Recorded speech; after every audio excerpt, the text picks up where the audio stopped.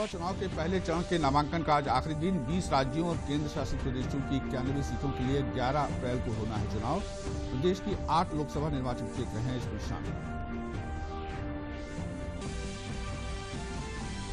लोकसभा चुनाव में लोगों की ज़्यादा से ज़्यादा भागीदारी हो, इसके लिए प्रधानमंत्री नरेंद्र मोदी ने ट्विटर पर एक नया कैंपेन वोट कर शुरू किया। इसमें विभिन्न क्षेत्रों के प्रमुख हस्तियों को टैग किया।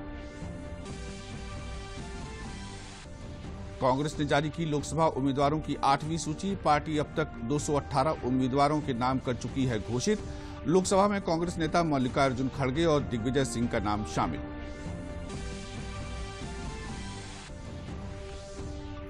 समाजवादी पार्टी ने पहले और दूसरे चरण के लिए अपने स्टार कैंपेनर की संशोधित सूची की जारी। मुलायम सिंह यादव का नाम है शामिल। पहले जारी सूची में नहीं था नाम।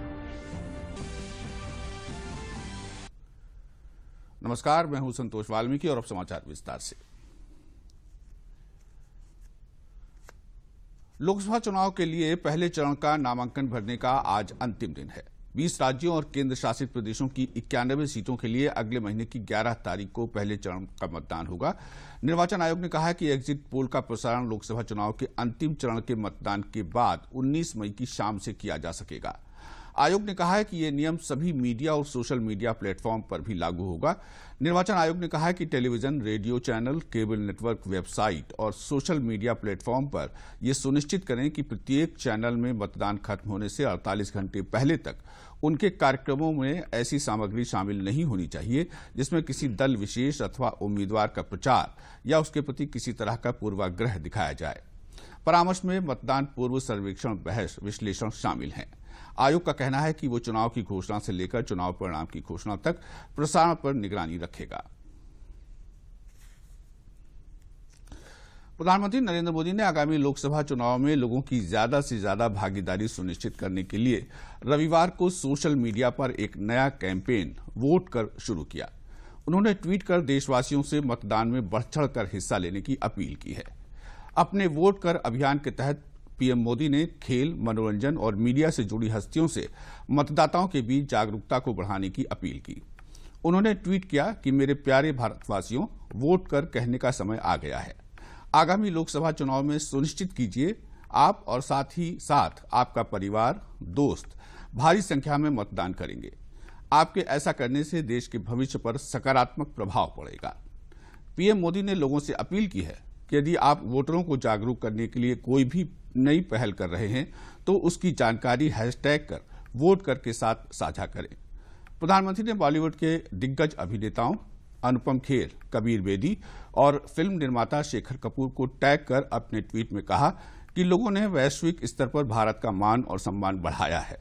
उन्होंने इनसे अपील करते हुए कहा कि वो देशवासियों को अधिक से अधिक मतदान करने के लिए प्रेरित करें। उन्होंने बॉलीवुड अभिनेता आर माधवन को ट्वीट कर कहा कि आपका काम न सिर्फ़ मनोरंजन के लिए मायने रखता है, आपकी आवाज़ बेहद मायने रखती है। इसलिए अगर आप लोगों को मतदान के लिए जागरूक करेंगे तो इससे भारत का लोकतंत्र और मज़बूत होगा। पीएम मोदी ने बॉलीवुड के दिग्गज अनिल कपूर, अजय देवगन और माधुरी दीक्षित को टैग किया और ट्वीट कर कहा कि बॉक्स ऑफ़िस के बाद अब पोलिंग बूथों पर टोटल धमाल का वक्त आ गया है। वोट कर मूवमेंट को आपके सपोर्ट से भारत के लोकतंत्र का भविष्य समृद्ध होगा। इसी तरह पीएम ने टाइम्स डिजिटल के चीफ एडिटर राजेश कालरा समेत मीडिया के कई दिग्गजों को अपने ट्वीट में टैग करते हुए कहा कि आज की तारीख में भारी तादाद में युवा चलते फिरते समाचारों से रूबरू होते हैं। ऐसे में एक बेहतर कल सुनिश्चित करने को लेकर उन्हें उत्साहित करने का यह माकूल वक्त है। प्रधानमंत्री मोदी ने नवभारत टाइम्स सहित कई अन्य मीडिया संस्थानों को टैग किया और ट्वीट कर कहा कि लोकतंत्र ज़्यादा से ज़्यादा मतदान से और मज़बूत होगा। मैं इनसे लोगों को मतदान का महत्व समझाने और ज़्यादा से ज़्यादा मतदान के लिए उन्हें जागरूक करने की अपील करता हूँ। प्रधानमंत्री ने क्रिकेट खिलाड़ी शिखर धवन, आर अश्विन, भुवनेश्वर कुमार के अलावा जानी मानी एथलीट हिमा दास, दीपा कर्माकर और साक्षी मलिक को भी अपने ट्वीट में टैग किया। गौरतलब है कि प्रधानमंत्री नरेंद्र मोदी पहले भी अपने ट्विटर हैंडल से विभिन्न क्षेत्रों की जानी मानी हस्तियों को टैग कर उनसे लोगों को मतदान का महत्व समझाने और ज़्यादा से ज़्यादा मतदान के लिए जागरूक करने की अपील कर चुके हैं। आगरा के आगरा कॉलेज मैदान पर भारतीय जनता पार्टी द्वारा विजय संकल्प सभा का आयोजन किया गया। विजय संकल्प सभा को संबोधित करते हुए भाजपा अध्यक्ष अमित शाह ने कहा कि एक तरफ़ अकेली भाजपा और दूसरी तरफ़ सारे दल मिले हुए हैं। उन्होंने विपक्षी दलों से पूछा कि तुम्हारा प्रधानमंत्री कौन है, लेकिन उनके पास कोई जवाब नहीं। उन्होंने कहा कि गठबंधन इस देश का भला नहीं कर सकता। उन्होंने अखिलेश और मायावती पर निशाना साधते हुए कहा कि बुआ भतीजे की सरकार में 12 लाख करोड़ रुपए के घोटाले हुए, लेकिन मोदी सरकार में एक रुपए का भी भ्रष्टाचार नहीं हुआ।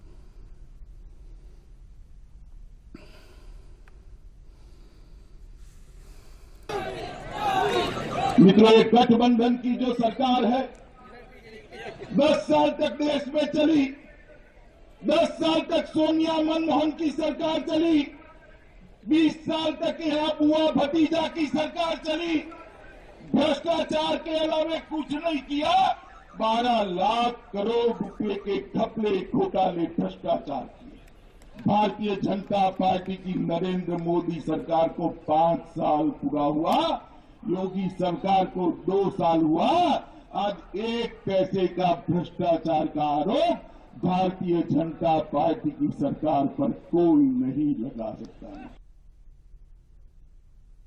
वहीं मुख्यमंत्री योगी आदित्यनाथ ने अपने संबोधन में कहा कि 2014 में सिर्फ़ मोदी का नाम था, अब मोदी का नाम और काम भी है। जो भी व्यक्ति भारत की सुख समृद्धि की कामना करता है, वो मोदी को प्रधानमंत्री के रूप में देखना चाहता है। उन्होंने कहा कि प्रदेश में कानून का राज स्थापित किया गया है।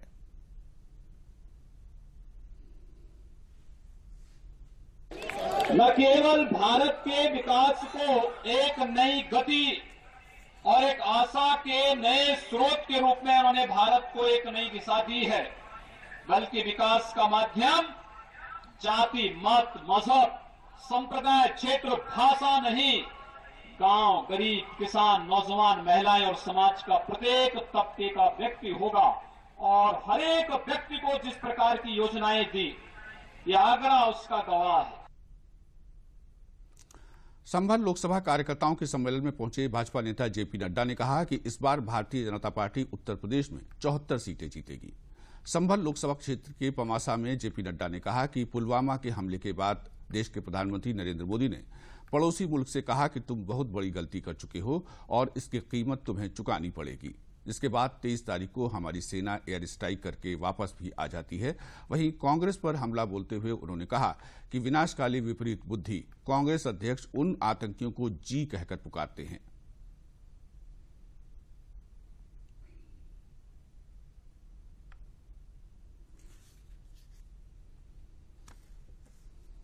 समर्थन देख रहा हूँ।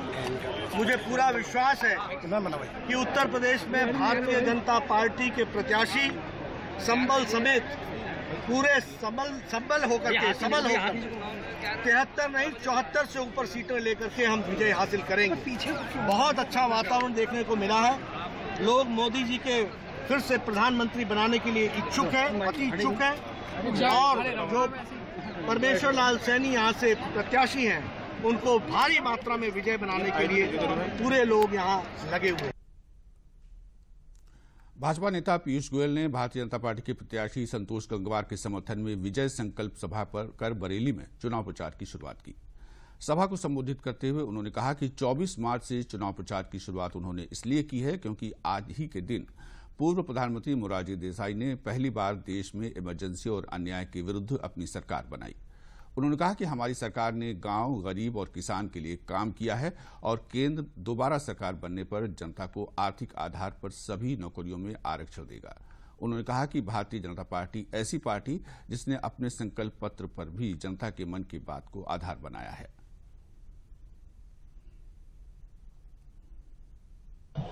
आज आगे आने वाले दिनों में सभी सरकारी नौकरियों में 10 प्रतिशत का आरक्षण इकोनॉमिकली वीकर सेक्शन आर्थिक आधार पे जो कमज़ोर है, उनके लिए 10 प्रतिशत का भी आरक्षण श्री संतोष गंगवार जी के प्रयासों से अब इस देश में लागू कर दिया गया है। जो सबसे पहले रेलवे की सवा लाख लोगों की भर्ती में हमने 10 प्रतिशत इकोनॉमिकली वीकर सेक्शन के लिए आरक्षण रखा है। जैसे तेज गति से विकास जिस प्रकार से लॉ एंड ऑर्डर कानून व्यवस्था उत्तर प्रदेश में सुधरी है, जिस प्रकार से अन्य अन्य योजनाएँ आप सबको घरों तक पहुँची है, ये चुनाव निर्णायक चुनाव होगा। एक निर्णायक नेतृत्व को फिर एक बार चुन के भेजने की ज़िम्मेदारी हम सबकी रहेगी। पहले चरण के नामांकन के ठीक एक दिन पहले सभी दलों ने अपने उम्मीदवारों की एक और सूची जारी की। लोकसभा चुनाव के लिए भारतीय जनता पार्टी ने अपनी सातवीं सूची जारी की। बीजेपी की इस लिस्ट में नौ उम्मीदवारों के नाम शामिल हैं। बीजेपी की सूची के मुताबिक पार्टी ने छत्तीसगढ़ की सभी सीटों पर नए चेहरे को मौका दिया है। इस सूची में छत्तीसगढ़ के छह उम्मीदवारों की घोषणा की गई है, जिसमें राजनंद गाँव से मौजूदा सांसद अभिषेक सिंह की जगह संतोष पांडे और रायपुर से रमेश वैश्य की जगह सोनी को टिकट दिया गया है। कोरबा से ज्योतिरानंद दुबे बिलासपुर से अरुण साव, दुर्ग से विजय बघेल और महासमुंद से चुन्नीलाल साहू को मैदान में उतारा गया है। पार्टी ने रविवार को जारी सूची में तेलंगाना, मेघालय और महाराष्ट्र से एक एक उम्मीदवार के नाम का ऐलान किया। वरिष्ठ बीजेपी नेता एस एस अहलुवालिया ने दार्जिलिंग से चुनाव लड़ने में असमर्थता जताई। पार्टी ने देर शाम दार्जिलिंग से राजू विष्ट को एनडीए उम्मीदवार बनाया। इससे पहले बीजेपी ने शनिवार को 46 उम्मीदवारों की एक लिस्ट जारी की थी। इस सूची में जयंत सिन्हा को हजारीबाग से टिकट दिया गया है। वहीं अनुराग ठाकुर हमीरपुर और श्रीपद नाइक को उत्तरी गोवा, नरेंद्र सिंह तोमर को मुरैना, जनार्दन मिश्र को रीवा और राकेश सिंह तोमर को जबलपुर से टिकट दिया गया है। बीजेपी ने अब तक कुल 307 उम्मीदवारों के नाम घोषित कर दिए हैं। समाचार और भी हैं। पहले लेते हैं छोटा सा विराम। अब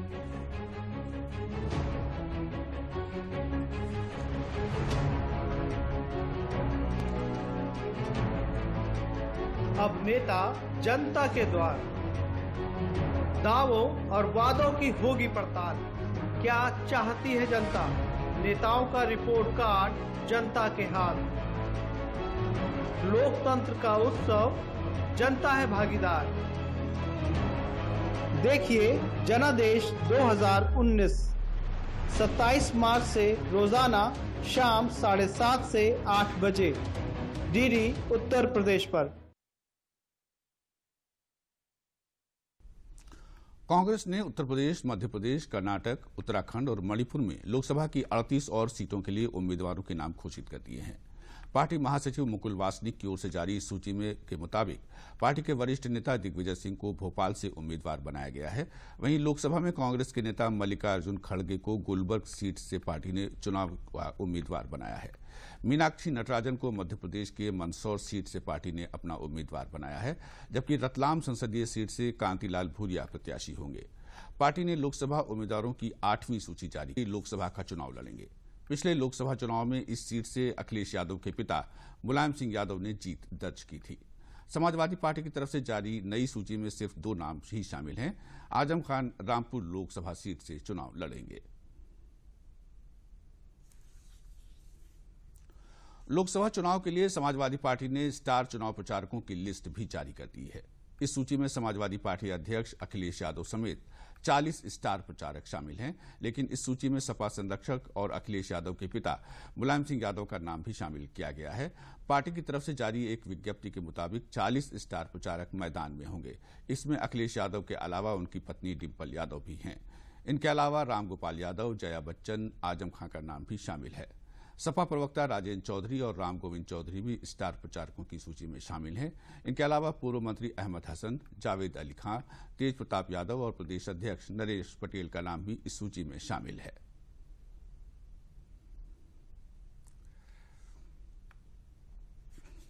बिहार में महागठबंधन के दूसरे चरण की सीटों के बंटवारे की घोषणा कर दी गई है। महागठबंधन ने साझा प्रेस कॉन्फ्रेंस करते हुए कहा कि महागठबंधन ने सीटों का बंटवारा सर्वसम्मति से किया है।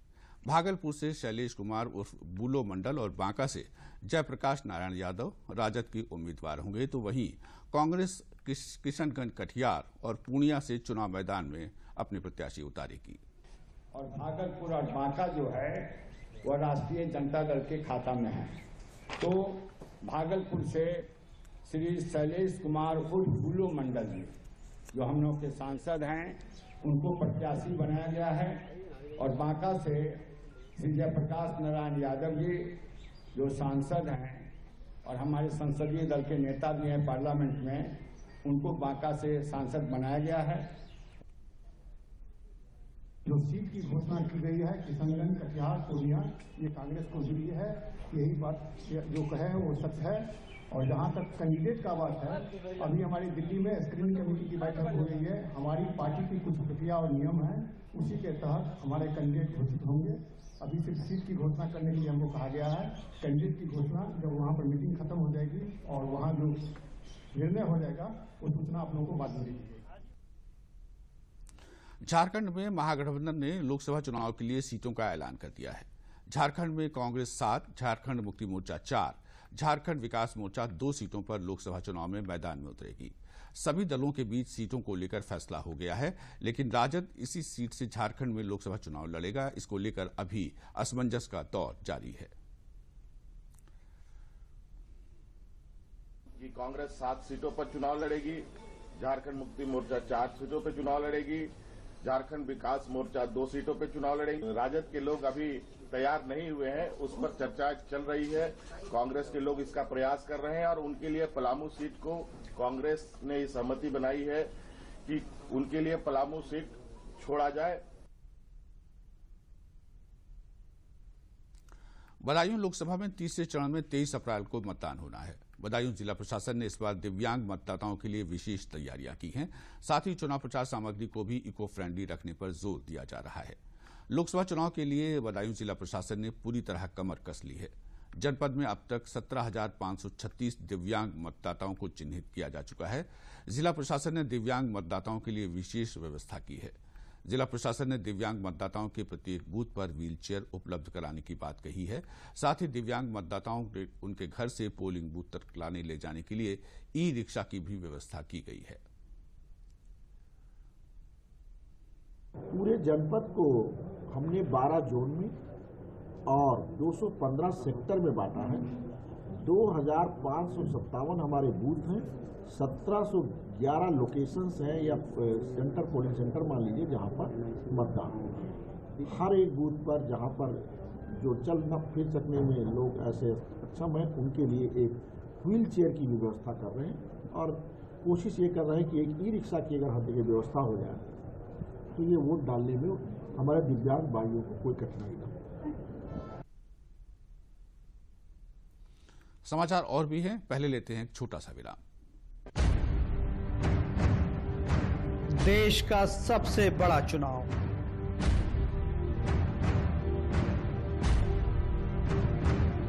हर पार्टी का असर, हर नेता की खबर।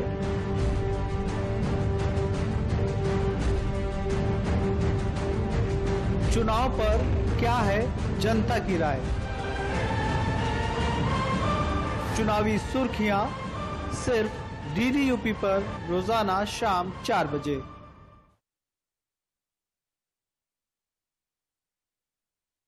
दो नाबालिग हिंदू बहनों के अगवा करने के मामले की जानकारी मांगी है। सुषमा स्वराज ने पाकिस्तान स्थित भारतीय उच्चायोग से इसकी रिपोर्ट मांगी है। सुषमा स्वराज ने ट्वीट किया कि मैंने भारतीय उच्चायोग से इस बारे में रिपोर्ट भेजने के लिए कहा है। होली की शाम सिंध की दो बहनों का अपहरण हुआ, जिनमें से एक की उम्र पंद्रह और दूसरी की तेरह साल बताई जा रही है। फवाद चौधरी के ट्वीट पर सुषमा ने कहा कि मैंने केवल रिपोर्ट ही मांगी है और इसमें ही घबरा जाना आपके अपराध भाव को दिखाता है। सिंध प्रांत के गोटकी ज़िले में होली के दिन दो बहनों का अपहरण किया गया और उनका धर्म परिवर्तन करवाकर निकाह करवा दिया गया। घटना के विरोध के बाद पुलिस ने एफआईआर दर्ज कर दी है। इस घटना के विरोध में किए गए प्रदर्शन में दोनों बहनों के पिता भी शामिल हुए थे। भाजपा नेता राजनाथ सिंह ने अपने संसदीय क्षेत्र लखनऊ में होली मिलन कार्यक्रम को संबोधित करते हुए कहा कि लखनऊ विश्व स्तरीय शहर स्वर्गीय अटल बिहारी वाजपेयी जी का सपना था। लखनऊ को बेहतर करने के लिए हमने लगातार काम किया है, जो काम बचे हुए हैं, उन्हें पूरा किया जाएगा। प्रत्याशी के रूप में पार्टी ने लखनऊ के लिए हमारा चयन किया है। निर्णय आप लोगों के हाथ है।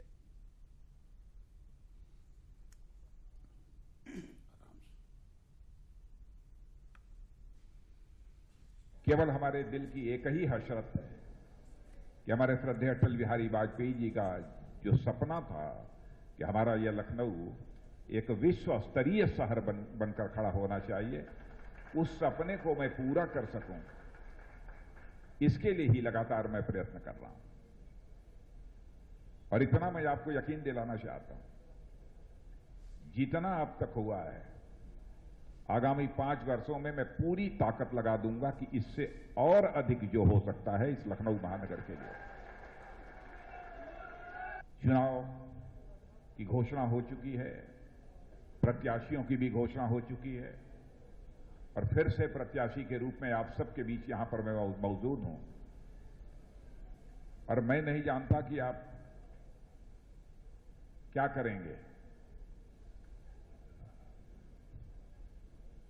कैसे करेंगे। यह फैसला आपको करना है। नीति आयोग नई दिल्ली में आज फिनटेक सम्मेलन का आयोजन करेगा। जिसका उद्घाटन भारतीय रिज़र्व बैंक के गवर्नर शक्तिकांत दास करेंगे। इस सम्मेलन में अग्रणी वित्तीय संस्थानों के करीब 300 प्रतिनिधि हिस्सा लेंगे। नीति आयोग ने कहा कि इसका मकसद फिनटेक में लगातार भारत की प्रधानता को आकार प्रदान करने के साथ साथ भविष्य की रणनीति पर विचार विमर्श भी होगा। इसके अलावा व्यापक वित्तीय समावेशन के कदमों पर भी विचार विमर्श करना है।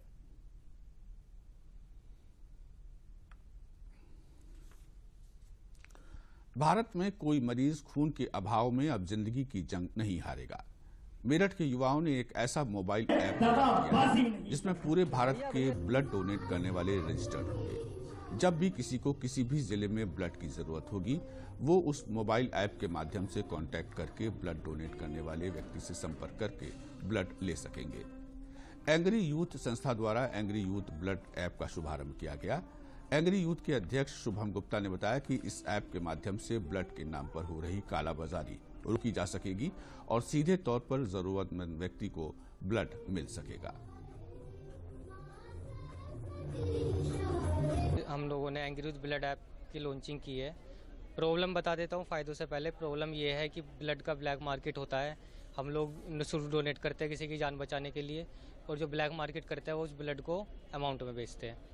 तो अब क्या होगा कि हम लोगों की ऐप में डोनर्स रजिस्टर्ड होंगे और जिसे ब्लड चाहिए, वो उनके सामने लिस्ट खुलकर आ जाया करेगी। वो डायरेक्टली डोनर्स से कॉन्टैक्ट में आके हॉस्पिटल में बुला के ब्लड ले लिया करेंगे।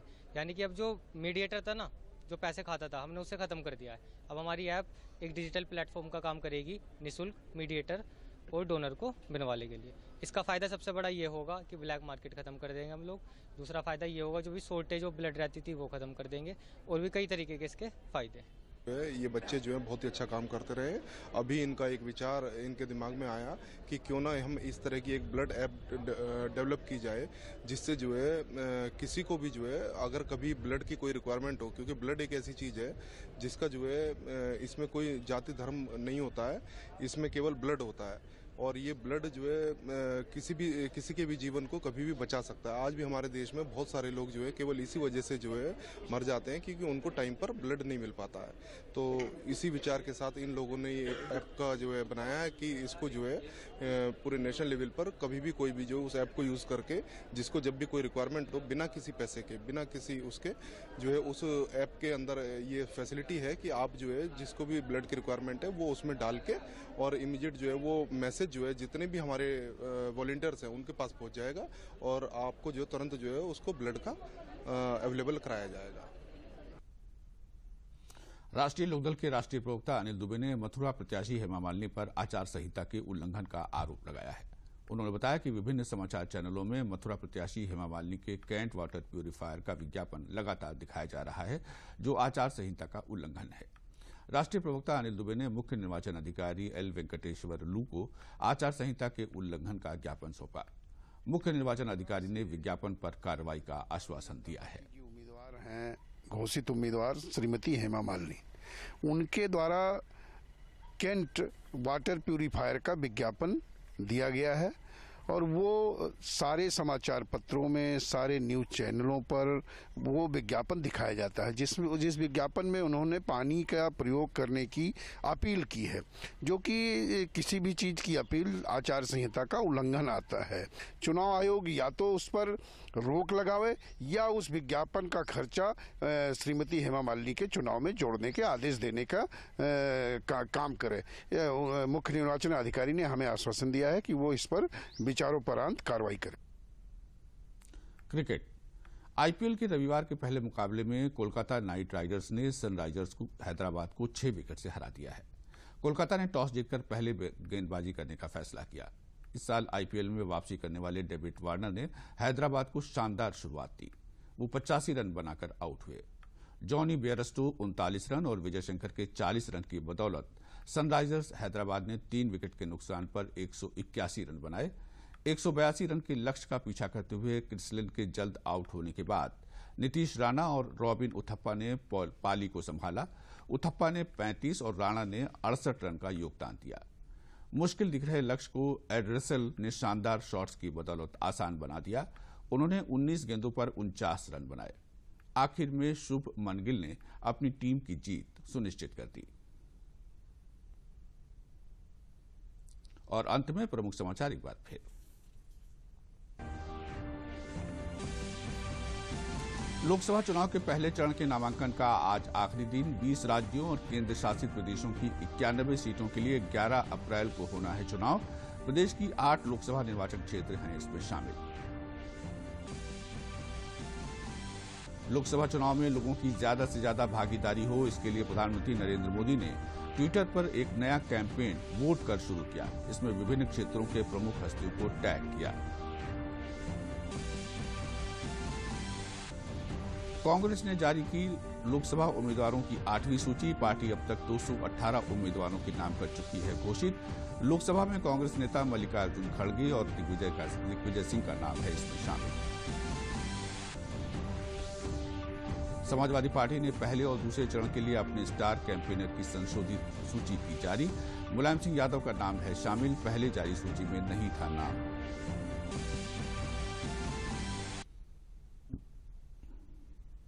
इसी के साथ समाचार समाप्त हुए। नमस्कार।